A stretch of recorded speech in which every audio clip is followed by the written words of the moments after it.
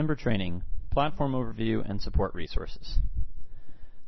So there are three different types of architectures that we generally talk about when we talk about Zigbee, and the one that's been around for the longest that you're generally accustomed to seeing in the market is the legacy design involving a microcontroller and what we call an RFIC, a radio frequency transceiver chip.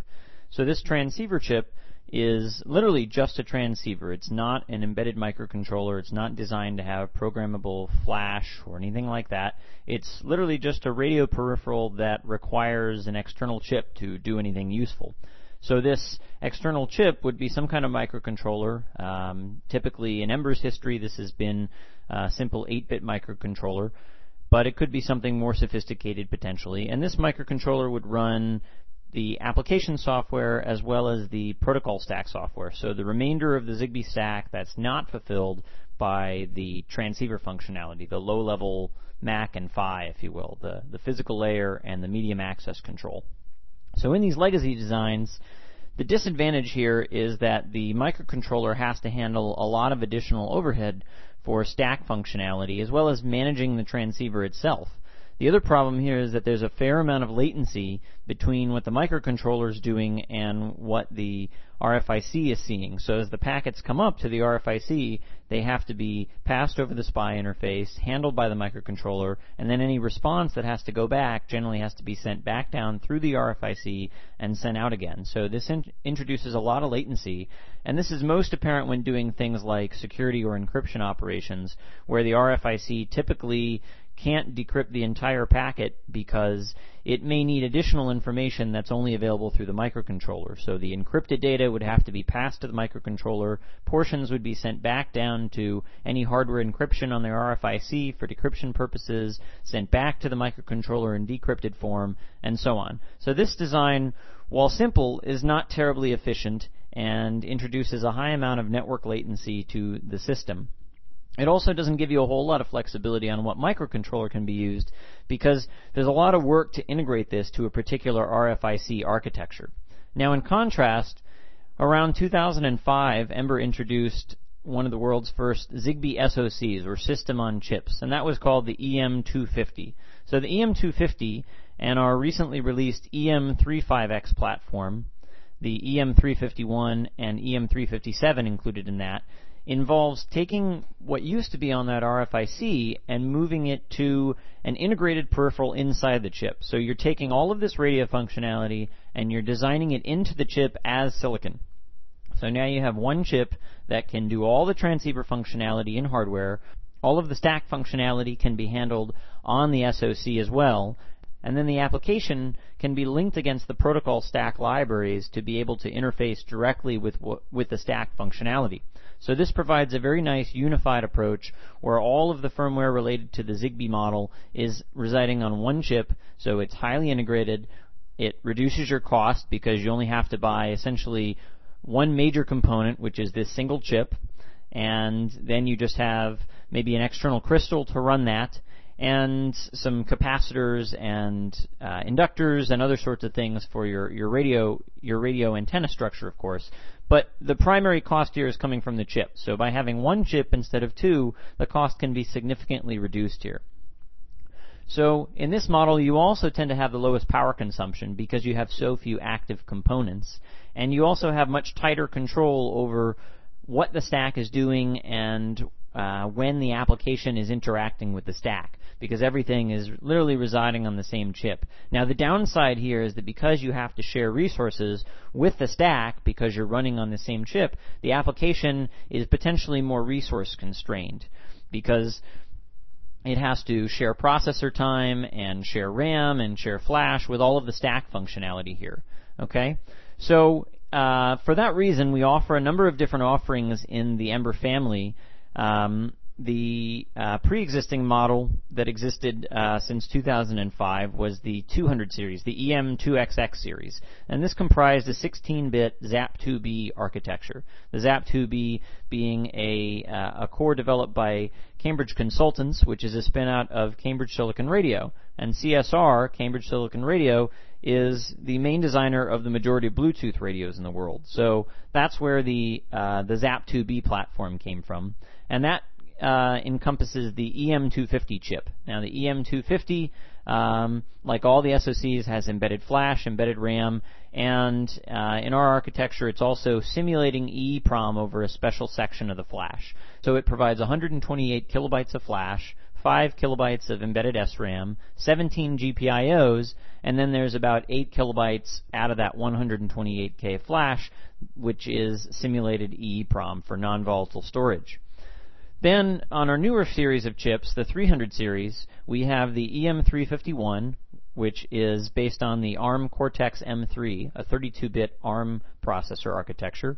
And that also has 128K of flash, although the code density is a bit different because it is a different architecture. And it also has 12K of RAM and 24 GPIOs. The EM357 is essentially identical to the 351 with the exception of having a larger flash space. So it has 192K flash versus 128. So having released this SoC model, we shortly thereafter came up with a concept for a network coprocessor. So the EM260 which is also part of the 200 series family, is a an offshoot of the EM250 SoC that's designed purely for coprocessor purposes. So rather than run the entire model of the stack from the transceiver functionality up through the stack libraries, up through the application all on one chip, here we're taking the stack functionality and separating it out from the application by moving it to a dedicated coprocessor. So this is different than the legacy design where the stack and the application shared a chip, similar to what they're doing in the SoC. And it's different from the SoC because the application is on a separate microcontroller. Okay? So now we have a dedicated application processor that can be roughly any kind of processor as long as it has a connection to the NCP. So in this case, we use a protocol called EZSP, Ember ZNet Serial Protocol, which is basically a serial abstraction of the stack libraries that existed in the SoC, and we communicate with the NCP via SPI protocol or UART protocol, depending on the sort of firmware loaded on the NCP. So using these common serial interfaces, you can have roughly any processor from, say, a, a, an 8-bit 8-bit PIC all the way up to a sophisticated 32-bit or 64-bit um, embedded Linux gateway or something like that, being your effective ZigBee solution. So this adds ZigBee to a device in a fairly modular way where you may have an existing application architecture and you want to kind of modularly add ZigBee to that. So this is this is handy for that kind of approach. The other nice thing here is that because the stack data is all self-contained from the application, it's easy to maintain the stack functionality uh, or upgrade the stack features without impacting the application or with minimal impact to the application, let's say. So, for example, the NCP could be a pre-programmed device that's sourced from a contract manufacturer and is preloaded, and then the the application processor could then be uh, customized further at at the uh, at the OEM's facility, at the manufacturer's facility.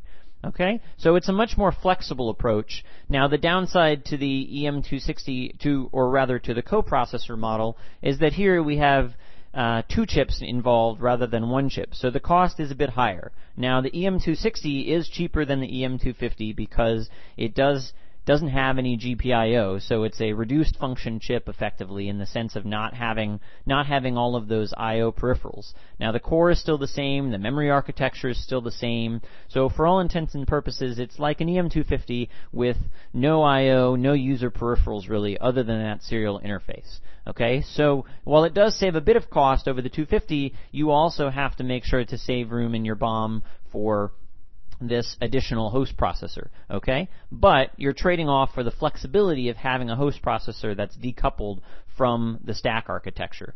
And this allows you to kind of future-proof your design such that if Ember comes out with newer coprocessors uh, in their offerings down the line, and keeps the serial protocol the same, you don't have to change anything on your application side in theory. You just have to respin your board, your firmware at the application stays the same, and everything works out okay. So those are the three models that we provide. The, uh, the legacy model, which we're currently not shipping or recommending in new designs anymore, the system on chip model, which is featured in the EM250 and the EM35X chips, and the ZigBee network coprocessor model featured in the EM260. So now that you understand a bit about our platforms, uh, let's just briefly look over the kinds of documentation that are available so that if you're going through the use of our stack or our kits and you need more help, you'll know where to go.